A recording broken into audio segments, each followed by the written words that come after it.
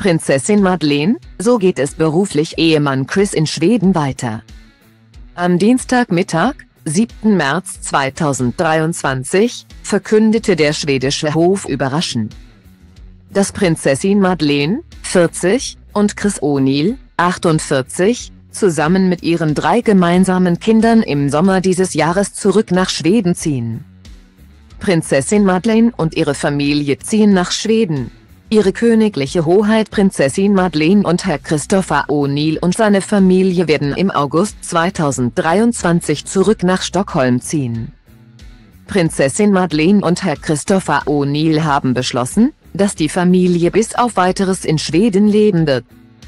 Heißt es in einem offiziellen Statement vom Palast. Weiter wird erklärt, Prinzessin Leonora und Prinz Nicolas werden im Herbst in Stockholm eingeschult. Prinzessin Adrienne wird die Vorschule besuchen. Infolge des Umzugs wird die Prinzessinnenfamilie in einer Wohnung der königlichen Stallungen in Stockholm leben. Und wie geht es mit Chris Karriere weiter, wenn er nicht mehr in Florida lebt? Der Unternehmer ist schließlich dafür bekannt, dass er seinen Beruf royalen Großereignissen immer vorziehen würde und schwänzte 2022 sogar deswegen den 45. Geburtstag von seiner Schwägerin, Prinzessin Victoria. Er wird seine Arbeit sowohl in Europa als auch in den USA fortsetzen. Erklärt Informationschefin Margareta Thorgren daher kurz nach Bekanntgabe der großen Veränderung auf Nachfrage von Svensk Damtidning. Scheint, als würde der Geschäftsmann seine Karriere auch in Zukunft nicht aus den Augen lassen wollen, trotz seiner royalen Verbindungen. Am 7. März hat Prinzessin Mary, 51, an einem Gespräch mit der Maternity Foundation und UNFPA teilgenommen, bei dem es um Müttersterblichkeit ging. Diese wird laut der Weltgesundheitsorganisation als Tod einer Frau während der Schwangerschaft oder 42 Tage nach Schwangerschaftsende, unabhängig von der Dauer der Schwangerschaft oder dem Ort, an dem sie stattfindet oder die Maßnahmen, die in Bezug auf sie getroffen wurden definiert. Im Anschluss an den Termin meldet sich die Royal, die sich bereits seit 2008 in diesem Themengebiet engagiert, mit emotionalen Zeilen via Instagram zu Wort.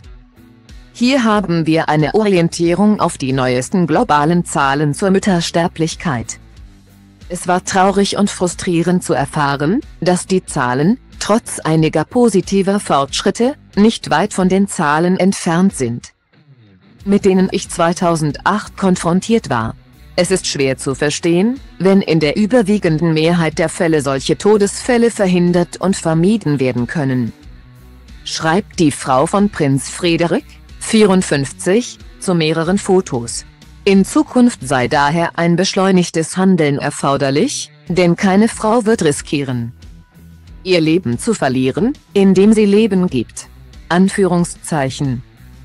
Nicht mehr lange, dann muss Prinzessin Alexia der Niederlande, 17, die Koffer packen und die Heimreise antreten, die Tochter von König Willem Alexander, 55, und Königin Maxima, 51, hat bald ihr Abitur in der Tasche und wird spätestens nach der Abschlussfeier im Mai 2023 erst einmal ins heimische Den Haag zurückkehren und bei Mama und Papa im Schloss Hüstenbosch unterschlüpfen. Eine Zeit des Umbruchs. Zwei Jahre lang durfte die Monarchentochter die Anonymität am UWC Atlantic College in Wales genießen. Fast nichts wurde in dieser Zeit aus ihrem Privatleben bekannt. Ein Luxus für die Royal. Als sie noch in den Niederlanden lebte, wurden regelmäßig private Bilder und TikTok-Videos mit der Prinzessin online gepostet. Die von privaten Konten geklaut worden waren, in denen sie tanzte und sang. Sie hatte sogar einen eigenen Instagram-Kanal, auf dem die königliche Fashionista Bilder ihrer Outfits postete seit sie in Wales studiert. Macht sie jedoch keine Schlagzeilen mehr. Sie soll aber eine grandiose Zeit dort haben. Wie Adelsexpertin Annemarie de Kunde auf der Website des TV-Programms RTL Boulevard schreibt, mit einer netten Gruppe von FreundInnen verschiedenster Nationalitäten, mit denen sie auch außerhalb der Schule etwas unternehmen kann. So habe Alexia im Juni 2022 einigen FreundInnen Amsterdam gezeigt jedoch getarnt mit Mütze und Sonnenbrille. Das erholsame Auslandsabenteuer ist nun aber bald vorbei. Mama Maxima deutete schon 2021 in einem Interview zu ihrem 50. Geburtstag an, dass ihre mittlere Tochter daran interessiert sein würde, in den Niederlanden zu studieren. Vielleicht allerdings hat die junge Frau mittlerweile ihre Meinung geändert. Der Ruf der Freiheit könnte inzwischen stärker sein.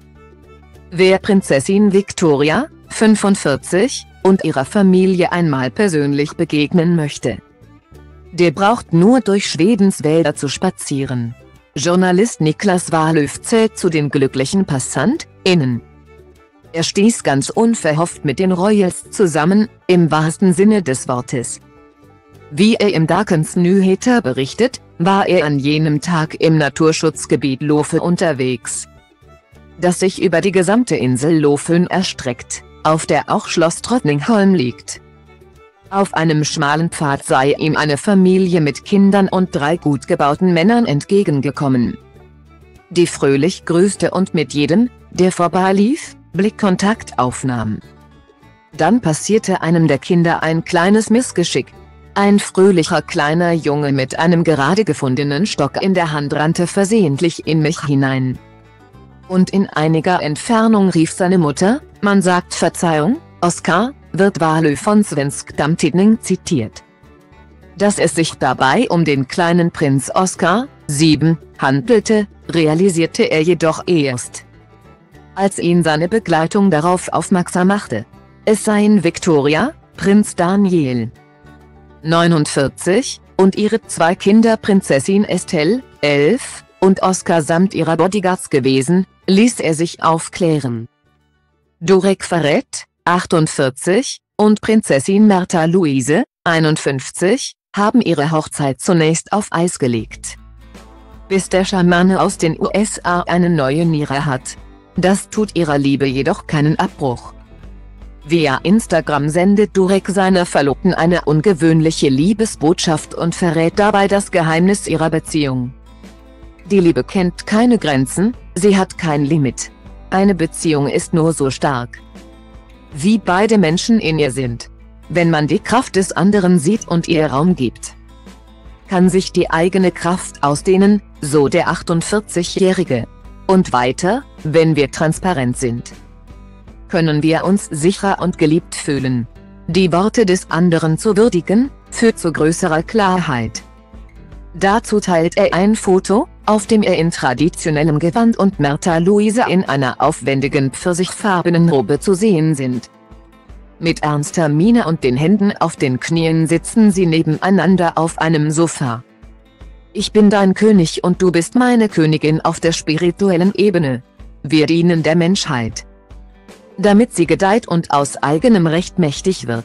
Unsere Hingabe an den Wandel ist unsere Leidenschaft für eine Welt, die von Liebe und Akzeptanz erfüllt ist, schließt er sein Posting und fragt seinen Stamm, ob er mit ihnen bei diesem Wandel für einen liebevolleren Planeten steht. Sie haben News verpasst, die Royal News der letzten Woche lesen Sie hier. Verwendete Quellen, Instagram.com, Svensk Damsee, DNC, Boulevard NL, Unicefte, Kungahusetsee.